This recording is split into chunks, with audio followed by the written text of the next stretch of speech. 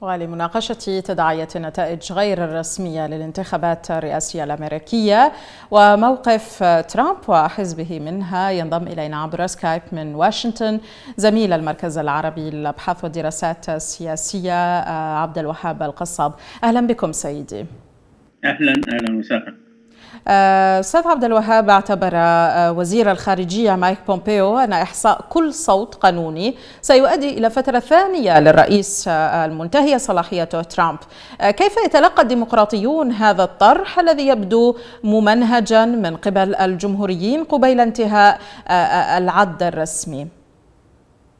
في واقع الحال هو ممنهج من قبل ترامب والدائرة المقربة منه جدا وهذا يتعلق بشخصيه الرئيس ترامب.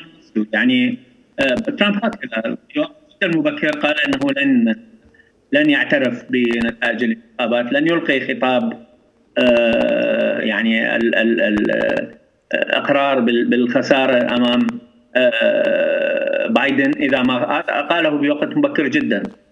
وما قاله وزير الخارجيه هذا اليوم حقيقة يتنافى مع الواقع. يعني هنالك 279 مقعدا انتخابيا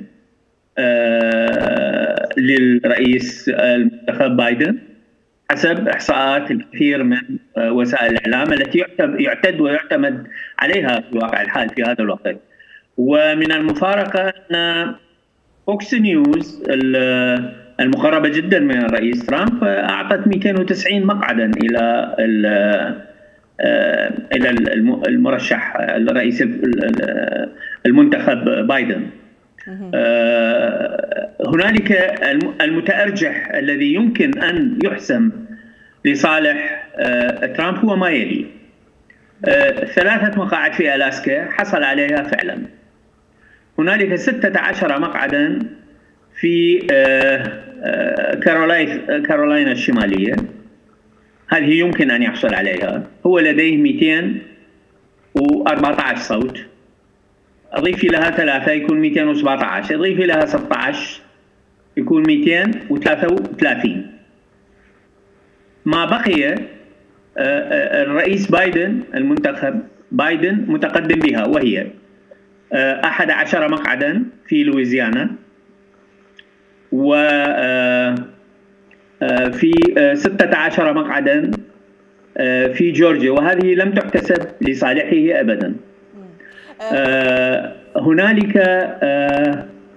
فارق كبير في بنسلفانيا نعم.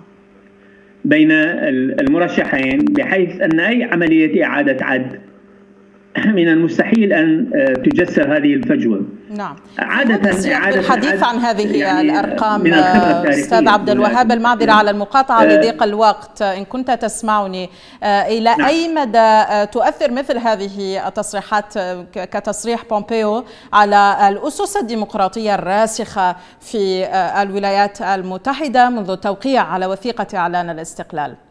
أكيد أكيد. وهو يعني شيء غير مسبوق. في التقاليد الديمقراطية المعروف بها هذا البلد الذي تقوده مؤسسات حقيقة. لكن ترامب يعني عمل الكثير لكي يحاول أن يعني يعمل ما بوسعه. سمى قاضية مقربة منه محافظة قبل أيام إلى المحكمة العليا في أمل منه أنه عندما سيدفع الوضع إلى المحكمة العليا هو لديه خمسة أصوات للجمهوريين وأربعة إلى الديمقراطيين. ولكن تصور أن السلطة القضائية تصوت على أساس حزبي أمر يعني بعيد حقيقة يعني ولا يعتبر عارا عليهم يعني سوف يكونوا لن يكونوا عادلين يعني. الموضوع الثاني هو هذا الإصرار في تغيير وزير الدفاع القدمات العليا في البنتاغون يعني تثير ارتياب وعلامة استفهام. ما الذي يريد الرئيس ترامب فعله في الأحد عشر أسبوعا القادمة التي هو في يوم 20 كانون ثاني يناير عليه أن يغادر البيت الأبيض إن لم ينتخب وهو لم ينتخب لحد الآن. شكرا جزيلا لكم زميل المركز العربي للابحاث والدراسات السياسية الأستاذ عبد الوهاب القصاب ونعتذر لضيق الوقت. حدثنا عبر سكايب من واشنطن.